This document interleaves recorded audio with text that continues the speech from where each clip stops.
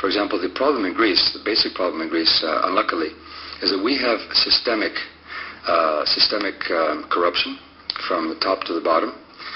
For example, the problem in Greece, the basic problem in Greece, uh, unluckily, is that we have systemic, uh, systemic um, corruption from the top to the bottom.